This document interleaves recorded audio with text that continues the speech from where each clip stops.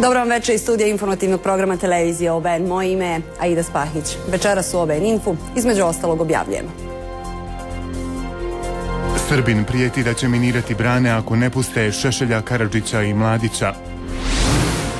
Prve borbe u Siriji nakon prekida vatre.